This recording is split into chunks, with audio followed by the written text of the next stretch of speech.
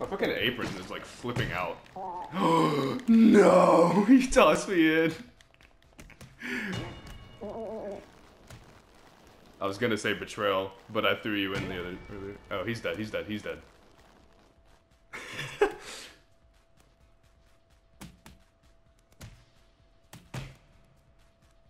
oh my!